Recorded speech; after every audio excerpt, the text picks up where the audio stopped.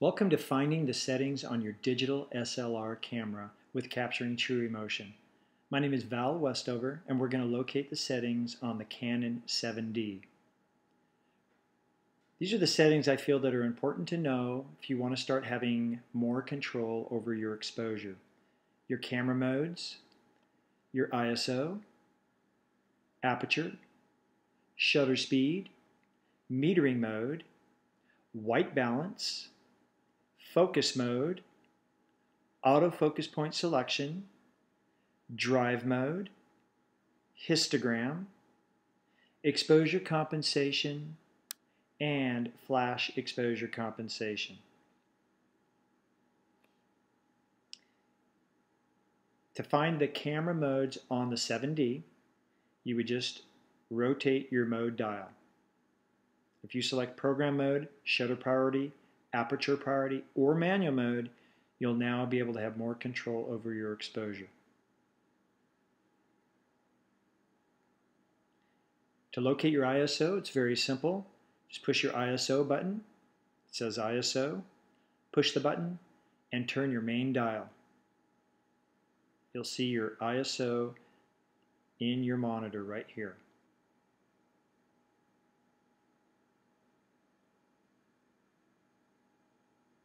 Change your aperture, when you're in program mode or aperture priority, you would change your aperture by turning your main dial. When you're in manual mode, you would turn this dial to change your aperture.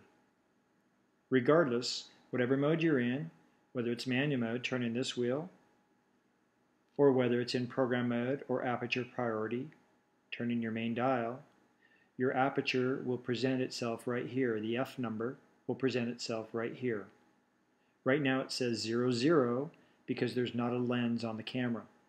If there was a lens on the camera, you would see the F number. It might read 4.5, it might read 5.6, or so on. Your shutter speed, all you have to do is just turn one dial for your shutter speed. So it doesn't matter whether you're in shutter priority or manual mode, you would use this main dial to change your shutter speed. To locate and manipulate your metering mode, you would push your metering mode button right here. That's the picture right underneath it. It looks like an eyeball. Push that button right there. Then you would change your main dial to select the metering mode that you want. Once you've selected your metering mode, it'll present itself right here in your LCD monitor.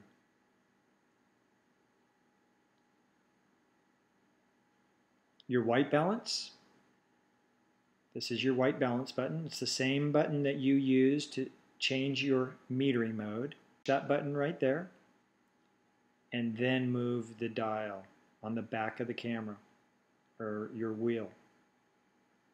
Once you do that, you'll be able to see in your LCD monitor right up here your white balance that you've selected. You can select any one of these right here and it'll present itself right in the middle of your LCD monitor.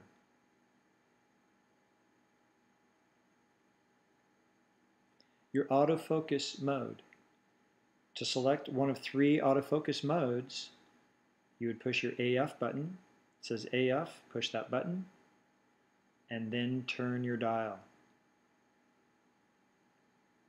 Focus mode, it'll you would then be able to shoot in one shot, AI servo, or AI focus.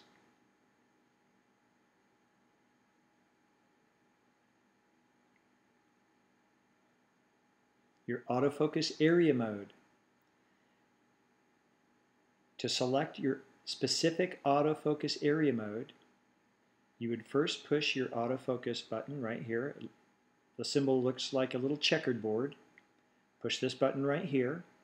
Once you push that button, and if you want to select a, a specific autofocus area mode, or excuse me, an autofocus area, you would push your main function button here to toggle through any one of these right here. So again, you would push your autofocus area button, then you would push your main function button to select either spot, single point, your point expansion, a zone, or 19 point. If you select spot or single point, now you can move your autofocus point selection anywhere you want. To the left, to the right, the top, the bottom, or you can autofocus right in the middle, right in the center. And to do that, again, you would push your autofocus area button here, then you would toggle your main dial to reposition your spot or your single point. Your drive mode. There's your drive button right there. Push that button. Once you push the drive button, then you would rotate the wheel and you could select whatever drive that you wanted to shoot in, single, high speed, low speed, or a self timer. Your histogram. To locate your histogram, you'll first pull up an image. Once you see an image that you've taken on your monitor, then hit your info button. Hit your, every time you hit your info button, it'll give you more information about your image until eventually it'll go back to showing you just the full image. If you want to see your histogram, that would look like a graph with up and down mountains and valleys. Exposure compensation. When you're in program mode, shutter priority, or aperture priority, one of these three modes right here, the camera is in charge of giving you a correct exposure. If you want to override that one way or the other, and intentionally over or underexpose your exposure, then you would turn this dial right here. As long as the dial is not locked, then you'll be able to turn the dial. Right now, as you can see, the dial is locked, so it would have to be moved to the left, so it's unlocked. Once you turn this dial, when you're in program mode, shutter priority, or aperture priority, you can see your exposure level indicator right here, and you can intentionally overexpose or underexpose your image. Your flash exposure compensation button. Again, you're going to use the same exposure level indicator right here. You would first push the button right here, your flash exposure compensation button. It's the same button you use to change your ISO. But what you'll do now is push this button and then turn the dial. Once you turn the dial, you're now going to be changing the brightness level of your flash, whether you want to intentionally power your flash up or power your flash down.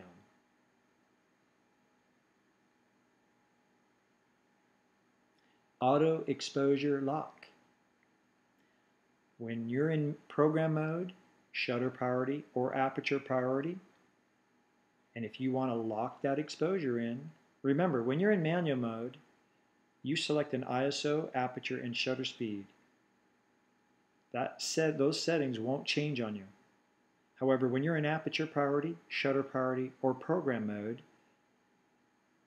those settings will constantly change on you depending on what direction you're, you're pointing your camera at, even if your finger's pushed halfway down on your camera. So if you want to lock your exposure in so that set, those settings don't change, it's this symbol right here. It looks like a star. You push that button right there. Once you push this button, you will lock your exposure in. In fact, you will see this little star symbol lit up in your viewfinder off to the left. If you see that symbol, that little star lit up in your viewfinder, that means your camera has locked that exposure in for you. Want to thank you for watching this video on how to find the settings on your camera.